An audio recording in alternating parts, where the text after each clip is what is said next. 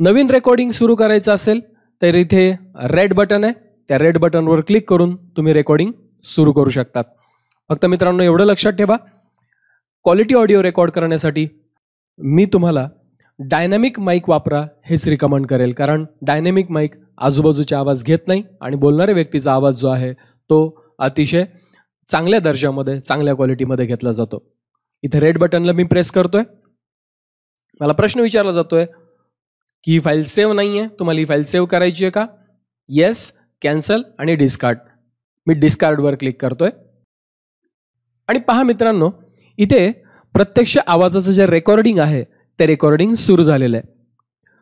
मित्रांनो आवाजाचं रेकॉर्डिंगचे जो व्हॉल्यूम आहे तो व्हॉल्यूम आपण येथून सेट करू शकतो.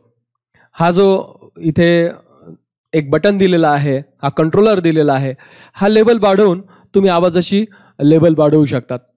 पण मित्रांनो एवढी गोष्ट लक्षात ठेवा की इथे जर आवाज तुमचा रेड मार्किंगमध्ये जात असेल तर शंभर टक्के आवाज तुमचा फाटणार आहे. तुमचा माईक किती सेन्सिटिव्ह आहे आणि प्रत्यक्ष तुम्ही आवाज किती देत आहेत यानुसारच हा जो रेकॉर्डिंगचा जो लेवलर आहे तो रेकॉर्डिंगचा लेवलर तुम्हाला सेट करायचा आहे. तुमचा आवाज फाटणार नाही रेड मार्किंगमध्ये जाणार नाही. अशा पद्धतीने आवाजाची लेवल जी आहे ती लेवल ठेवायची आहे.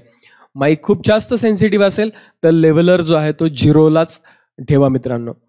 आणखी एक महत्वाची गोष्ट आहे ज्यावेळेस आपण काहीच बोलत नाही आहेत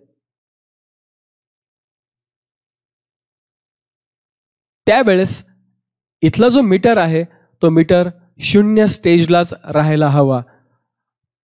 तिथे जर तुम्हाला आवाज दिसत असेल म्हणजे तुम्ही काही बोलत नाही आहेत आणि अशा वेळेस तिथं आवाज दिसत असेल तर समजून घ्या.